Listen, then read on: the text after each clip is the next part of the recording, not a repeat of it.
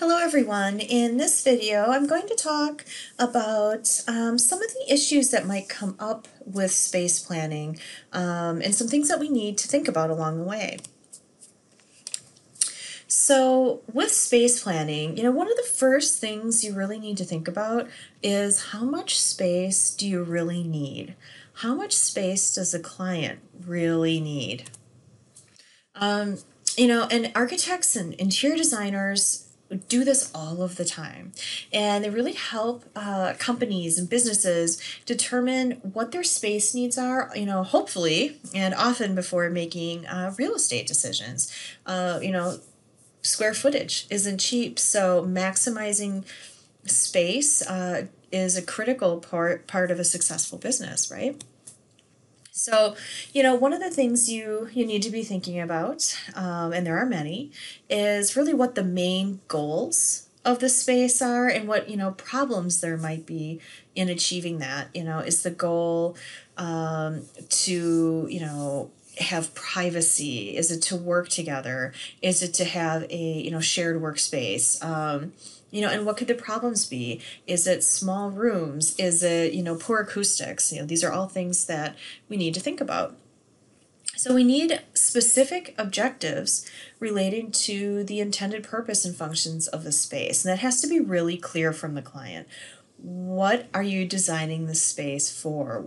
Who does it serve? What are the needs is it for um, you know fun and entertainment? Is it a touchdown space when checking into a hotel? Is it uh, you know a computer lab that um, you know people work by themselves? Is it a testing center? Is it a community space? That all um, has a fundamental impact on how you design and plan for a space. You need to think about the flexibility required of the space, any, you know, special environmental supports that might be needed. You might want to think about atmosphere, right? Is this going to be, you know, a cozy and warm and intimate space? Is this going to be very wide open and dramatic? It all matters and the intention matters. And from the ground up, knowing what the client wants and needs is really critical in how you move forward in the design. The number and types of spaces that are needed and desired uh, is critical knowledge to know right away. And what's going to be done by whom in these spaces? Is it a private residence? Is it a living room for one or two people? Uh, is it a large work environment in which you need to carve out um, little niche spaces for people to have private conversations and meetings? All of that is really critical to know right away. Thinking about the types of furniture needed, the number of furniture pieces needed um, to perform the required tasks is also critical. If we're thinking about a lobby in a hotel, for example, um, what is the space going to be used for? Is it a brief touchdown space? Will there be entertaining? Is it a lounge? Is it a bar? Um, you know, if we're thinking about a conference room that might be requested by a client, how large does that conference room need to be and what is the atmosphere they want to create? Is it a conference room for six people or is it a conference room for 30 people? Uh, that's all um, very important information to know. So you know how big you need to make a space really affects the overall square footage. And generally speaking square footage is limited so we need to be very thoughtful about how space is allocated in the floor plan on the right, we have a 150 square foot office. It's 10 by 15. Uh, it's functioning very well, I hope, um, for the person that uses that space, right? The plan in the middle is the exact same square footage, but with a different configuration. You know, now the person can face out. They have, you know, bookcase or whatever it might be behind them and this actually allows them to you know meet with um, clients for example. I guess it depends what this room is for but it functions better for you know interactions than the office here on the right same square footage.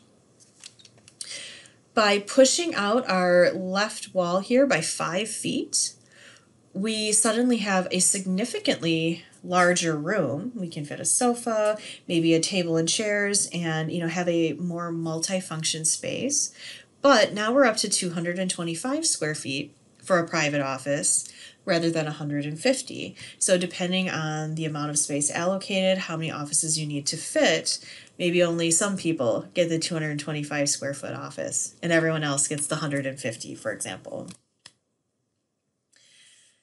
Also, when thinking about space planning, we need to think about circulation. So, circulation um, you know, is not only, um, you know, inside of each individual room and how we make our way around furniture, but how we get from room to room, whether this is through walled corridors and hallways or paths carved out, you know, between spaces.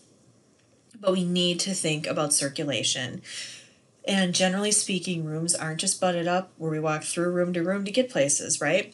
We actually have hallways and corridors. So when we think about those spaces, you know, we really want to facilitate comfortable and interesting and well designed circulation in rooms and through you know the entire space plan um, so that it adds to the function and isn't disruptive or awkward so you know just kind of thinking about corridors hallways paths through a space um, you know, even just within a room, these can have many, many variations, whether it's straight through, turning, curving, zigzagging, or whether there's many paths through a room. Um, this is all going to depend on size, orientation of furniture, and openings within the room. If there's one doorway, it's going to have a very different traffic pattern than if there's multiple. You know, so just thinking about some spaces like we have here, right? Even our image here on the right, we have one opening into the space. So the traffic pattern is going to be such that you flow through and either back out this way or, you know, through the furniture arrangement and out. And so we need to think about the number of people that are going to be in the space and, you know, really how smoothly that needs to flow. Also, while space planning, we need to think about the furniture, fixtures, and equipment that are required of the space. FF&E, furniture, fixtures, and equipment. And this will all be based on client preferences and it may also require that, you know, existing furniture pieces, um, you know, accessory pieces, things like that need to be incorporated. Um, you might need to work around a pre existing, you know, ceiling design or fireplace. You might need to keep the old furniture a client has. Um, all of that will have dramatic impacts on how you plan a space. We also need to think about um, the furniture spacing itself and the orientation um, because of the orientation of the furniture has uh, dramatic impacts on human behavior physical psychological social. You know if we're facing each other we're going to be you know making eye contact talking to each other. If we're all facing away it has a very very different outcome. So it completely depends on the desired interactions of the space um, this can, you know, dramatically change whether it's, you know, um, in an airport, whether it's in a lounge space, a reading area where, you know, now we're just sitting on the floor and kind of the idea of sitting on grass. So this can have many different um, feels and outcomes. So, another thing we want to think about um, when thinking about space planning issues is proxemics and how close or far apart people want to be in different situations. So, first thing we want to think about with that is personal space. So, our personal space, or you know, that kind of invisible bubble that's around us, really designates the area that's ours and then what's off limits to nearly everyone else, right? So it's that zone that, you know, when people get too close and invade that personal space, it makes us uncomfortable. Um, it does kind of trigger you and it kind of puts you on high alert, right? So we have to really think about that. So with proxemics, that's the study of the distances between people as they interact and as they interact in different ways. So this study really answers questions about desirable distances between you know for example um, you know if you walk in and you see a receptionist and there's visitors sitting across the aisle um, you know what's a comfortable amount of space what's too close What's too far? Um, if you see people sitting across from each other, you know, eating in a restaurant or something like that. So, a few examples of um, kind of standard distances. If we think about intimate distance, uh, we're thinking about, you know, 6 to 18 inches approximately. Personal distance, probably 18 to 48 inches. Social distance, you know, people out and about interacting, 4 to 12 feet. And then public distance would be 12 to 25 feet apart. We then uh, get into the concepts of sociopetal and sociofugal spaces. So, this is really relating to the orientation of adjacent spaces or furnishings that may encourage or discourage interaction. So, a sociopetal configuration will promote a face to face interaction. Sociofugal does allow people to be close together in near proximity, but it discourages um, interaction. It isn't prevented, but it discourages it. So, for example, here on the left, these two individuals are sitting on sofas directly across from each other. They can see each other, they can interact, they're facing each other. That's a sociopetal arrangement. Next to them, we have two sofas again as well, but instead of them facing each other, they're back to back. So then the individuals sitting on them are either back to back and not very likely to interact, or they're sitting on the same sofa and kind of have to turn to face each other and could easily just be facing forward. Again, it lessens the likely uh, the likelihood of an interaction. So, a couple examples, um, you know, in a, a real life scenario. So, in this image, for example, we are able to get groups of people very close together uh, however, if your back is to all the other individuals in the various groups, you're not very likely to actually interact with them. However, because of the shape of the booth, and if you can imagine there'd be some chairs here, you would actually be able to face each other. You're in close proximity and would be able to, you know, have conversation and interact very easily. Okay, um, in this example down here, this long two-sided bench, you know, allows a variety of people to sit the arms actually space out and allow you know maybe strangers to comfortably sit next to each other without being too close. Um, everyone would face forward. So if you know the person next to you and you want to talk to them you're nice and close but you can also kind of get away with looking forward reading your book not talking. Likewise somebody might be sitting directly behind you but since you're facing away from each other and you know have the big booth between you it discourages interaction Moving on to some of the architectural features that you might need to think about while space planning. Well, we need to think about, you know, not just a flat floor plan, but what's happening in the space as a whole. We need to think about the ceiling, doors, windows, flooring changes, all of it. So, this image here on the right, um, you know, if this room was flat, how we choose to lay this out might be different. But because of these, you know, interesting and large platform stairs that are coming up, we need to maintain you know a significant distance from this before we can actually lay out our furniture. So that feature is kind of pushing um, all of the furnishings over as well as this large open ceiling element and all these windows, right? So everything about this room is telling us that we want to be located over on this side of the space.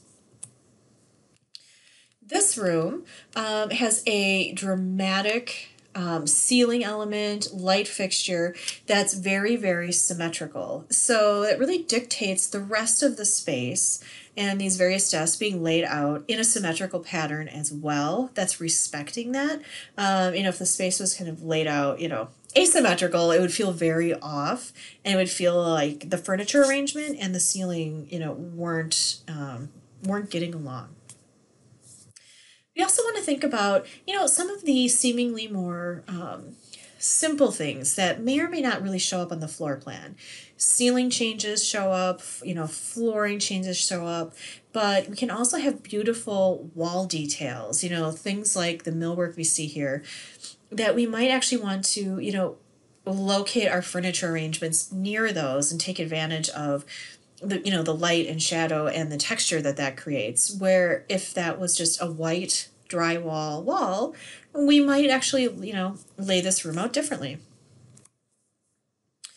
we need to think about flexibility and adaptability of space and furniture arrangements. You know, whether it's in a work setting where people may, you know, pick up and move around day to day, or groups that are working together may fluctuate in size, and, you know, the actual office arrangement may need to be very adaptable. Where we actually have um, demountable, movable wall systems, lighting systems, things like that. Uh, we can also apply that idea to you know hospitality spaces, restaurants, things like that. Um, you know, and in this example, thinking about this long banquette seating, you know, it's set up for tables of two, and that works out perfectly fine.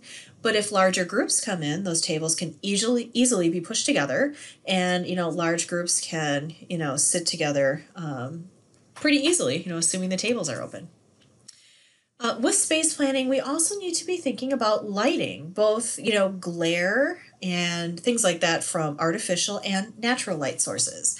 So um, you know, thinking about work environments, um, you know, needing to be able to see a computer screen or possibly a TV screen, things like that. Glare can be a real issue.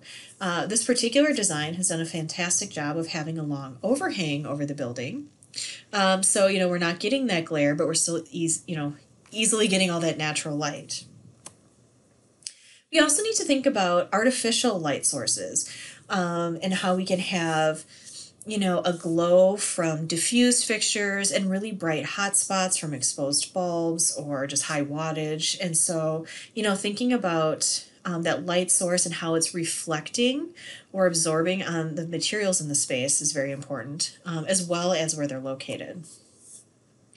We also have to keep in mind the mechanicals. So we need to maintain access to electrical, HVAC systems, plumbing. So the heating, ventilation, and air conditioning, HVAC, um, can be exposed and very obvious in some spaces, um, or built in, you know, to the drywall and kind of hidden in others. But maintaining access to those, should something go wrong, things need to be updated, um, is very important. We need to think about acoustics as well. So, some spaces will need privacy, will need concentration.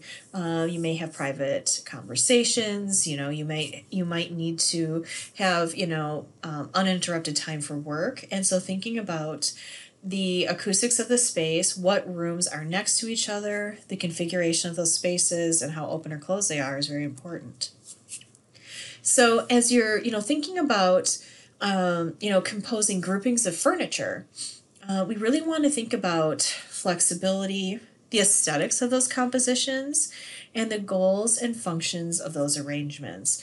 Whether it's an individual piece, pieces placed side by side, or you know sets of three. If we can imagine maybe this was a sofa and a chair uh, you know how they can relate to each other across from each other, um, you know, and these kind of geometric groups that we ultimately create uh, with furnishings. So we need to again think about flexibility and that aesthetic composition within a space. So if we're working within a very symmetrical space, for example, our furniture arrangements will then also most likely be symmetrical. You know, again, thinking about symmetry and you know the furnishing furnishings actually kind of mirroring each other in a very formal space like this or being a bit more asymmetrical but still in line and respecting the form of the building itself. Um, and you know kind of thinking about rooms it's not only the the colors the textures all of that that affect the space but also the furniture the size the proportions and the layout that affect how a space really feels, right? So here on the right, we have, you know, very high contrast, very large furniture in relation to much more kind of petite and smaller framed furniture in the same room has a totally different feel. You know, here again, same basic space. You know, obviously the colors are different and, and all of that and the patterns, um, but the size and scale and configuration of the furniture can make the space feel very different. So as we're laying our furniture out, um, and as we begin the space planning process, you know, really the first thing we kind of start to think about is really creating like a 2D pattern with the furniture and what that looks like in the floor plan. Because not only do you see that in the floor plan, like you see here on the left, but we also see that here in the image on the right as well. So of course, not all spaces have sort of an overhead view like this, um, but we do experience what that pattern and layout feels like in 2D in the three-dimensional world as well. You know, so really thinking about what shapes we're creating um, in 2D translates to 3D again. And so, you know, thinking about maybe like restaurants or, you know, larger commercial spaces, we can have some interesting repetition of form, whether it's in a variety of, you know, table arrangements in a wide open room or office configurations in a, a larger setting. Um, that repetition of form applies even when we're thinking about furniture. So, you know, as you're starting to plan your spaces, you really want to think about, you know, what's your overall pattern of the space? How are you relating your furniture groupings to the room as a whole, to the shape of the space, to the floor, to the ceiling? Um, how are relating to the windows? And is that a symmetrical or asymmetrical layout? Um, there's many things to consider, uh, but it all has a pretty dramatic effect on the feel of the space.